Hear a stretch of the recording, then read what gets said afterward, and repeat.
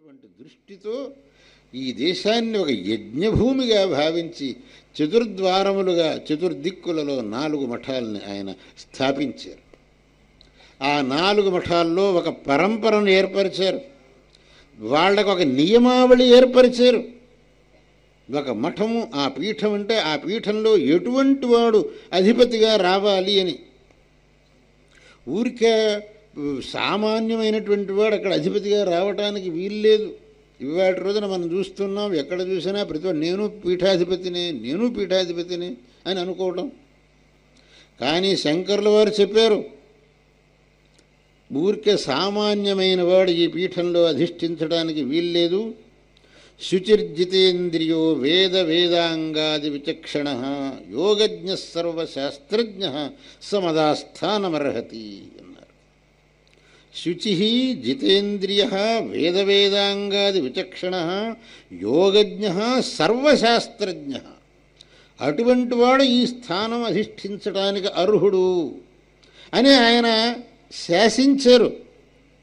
ఇప్పుడు ఈ కొత్త కొత్తగా వస్తుంది నాదో పీఠం నాదో నేనో పీఠాధిపతిని అనుకునే వాళ్ళు అసలు ఆ శ్లోకమే తెలియదు శంకర్ల వారి యొక్క ఆ ఒక శ్లోకమే తెలియదు ఆ శ్లోకంలో ఆయన ఏం చెప్పారు అనేది వాళ్ళకు తెలియదు. శుచి శుద్ధమైన చరిత్రం కలిగిన వాడుగా ఉండాలి.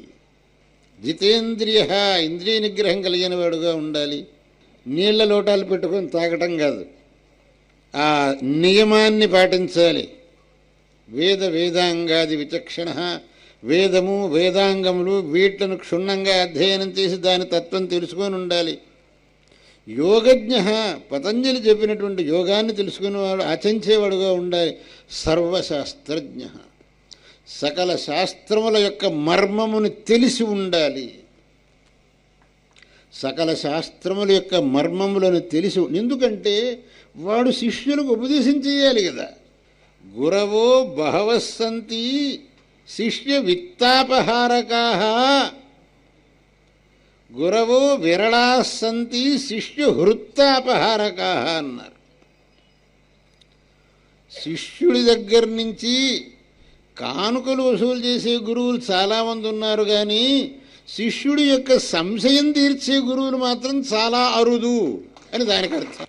గురవో విరళాసంతి శిష్యు హృత్తాపహారక హృత్త హృదయంలో ఉండే తాపం అని అంటే సంశయములు జిజ్ఞాసలు శిష్యుడి యొక్క జిజ్ఞాసను తీర్చేవాడుగా ఉండాలి గురువు దాన్నే భగవంతుడు చెప్పాడు భగవద్గీతలో తద్విద్ధి ప్రణిపాతేన పరిప్రశ్నేన సేవయా ఉపదేక్ష్యంతి తే జ్ఞానం జ్ఞానినస్తత్వదర్శిన తత్వదర్శిన అని ఒక విశేషణం వేశాడు భగవంతుడు. ఈ తత్వదర్శి అనేటటువంటి వాడు గురువు కావాలి కానీ ఈ మూడనాళ్ళ వాళ్ళంతా గురువులు అయితే వాళ్ళు ఏం తత్వదర్శులు వాళ్ళు ఏం తత్వాన్ని శిష్యులకు చెప్పగలుగుతారు? అందువల్ల అటువంటి యోగ్యత కలిగినటువంటి వ్యక్తులు ఈ పీఠాలను అధిష్ఠించాలి వాళ్ళు ధర్మాన్ని ప్రచారం చేయాలి వాళ్ళు జనులకు ధర్మతత్వాన్ని బోధించాలి అని శంకరుల వారు కట్టడి చేశారు.